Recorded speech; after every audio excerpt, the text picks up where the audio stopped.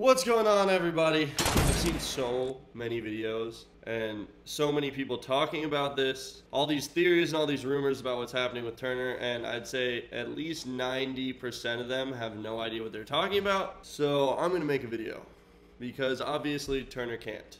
Before I go into anything, this is just my standpoint as his brother. This is very frustrating to watch this happen. I know that if it happened to me, I would hope that everyone I know would say something about it or make a video about it or, you know, I don't want anyone to feel obligated, but this is scary. And uh, this is my words, not Turner's words. He will make a video about it when he gets all of his social media back. But for now, I just felt like I had to say something and let you guys know what's going on. I'm sure you all know my brother Turner was presumably hacked again. This is the second time this has happened in the last 30 days. But this time, pretty much the worst thing that could have possibly happened to him did. And that's his entire YouTube channel being deleted. Not to mention the fact that he was suspended on Twitch for two weeks again. Not only was his channel deleted, but it basically vanished from thin air. No way to access his email, no way to really access anything. And it's been six days since his channel was deleted and it still has not been recovered, which completely and utterly blows my mind. And as I said, just hours before his entire YouTube channel basically disappeared, Turner was banned on Twitch for 14 days because his chat was toxic. It was taken as he sent people over to bully this small streamer, which is not the case. Turner is absolutely not like that. Anybody who knows him at all knows that. At the very least, Turner would say something himself before sending his fans to do something like that. His chat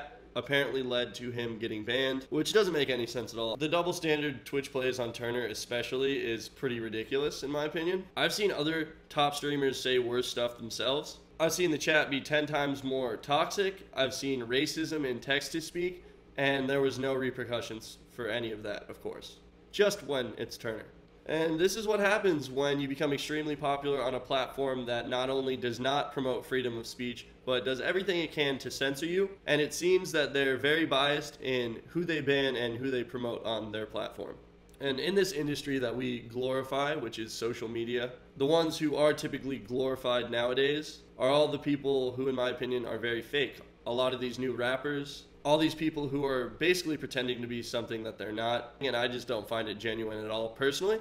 Personal opinion. And then uh, there's Turner, who, in my opinion, is a breath of fresh air in this social media world because he says anything that comes to mind. He's uncensored, he's unfiltered, he doesn't care what anyone thinks about him. And I think that that is a huge reason why he's blown up so much. Basically, all these companies can't stand it. They just want to censor him, they just want to put him in a little box and treat him like a puppet, tell you what to say, when you can say it, and how to say it, or else you'll just get banned. And then boom, Turner's YouTube channel disappears just hours after his Twitch channel is banned. I'm just saying, remember to think for yourself. I'm not saying one is connected to the other in any way. I'm just saying that from someone who's been watching Turner since day one, from before his come up until now, Turner has clearly been targeted and clearly been singled out. Luckily, he still has his Twitter and his Instagram. Uh, since he can't upload or stream He's going to take some well deserved time off and relax. He's currently out in LA right now, hanging with friends, enjoying himself, but he would much rather be working and grinding to make videos and make content for you guys. He did hit a pretty sick backflip off a dam in front of the Hollywood sign, though.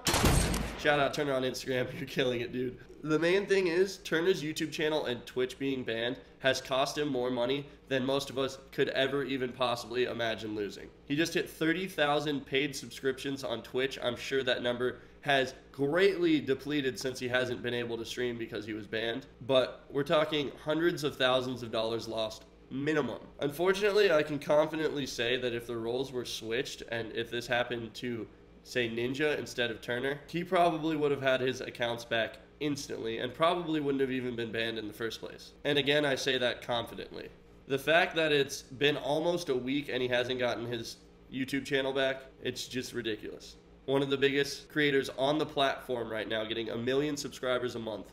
And it's taking a week for them to get his YouTube channel back. And I know a lot of you guys keep asking when we're to continue with stunts and continue with 24 hour challenges and everything we do and I promise we have some of our best ideas yet planned. It's just with everything that's been going on, especially with Turner, with the polluted water in Florida and how I've been trying as hard as I can to protest it. It's been a lot, but we have a huge video planned to upload later this week, possibly this weekend, that I feel will break the internet. So you guys can look forward to that. We also have some amazing ideas for 24 hour challenges. It's just that it's been a crazy week. Uh, I don't need to explain. You guys all know what's going on, but it's been insane to say the least. I will say that I will be at a skim contest this Saturday in Vero Beach on the east coast of Florida. If you guys want to come hang out, I definitely suggest it. We're going to be there all day. I will have more info on my Instagram if you want to check that out. Hopefully, we'll see you guys there. We'll have tons of hats, tons of stickers, a really good time, and uh, a skim contest, which is something that I greatly enjoy myself. Thank you all so much. Expect tons of videos over the next few weeks. I will never stop uploading videos for you guys. I enjoy it more than you will ever know. So please drop a like if you want to show support. Mike Honcho merch is almost gone for good until we release the presidential campaign line. For now, thank you all so much for getting us to where we are on social media. It means the world. See you guys tomorrow, possibly the next day, with a new video. Peace. Who's gonna send it?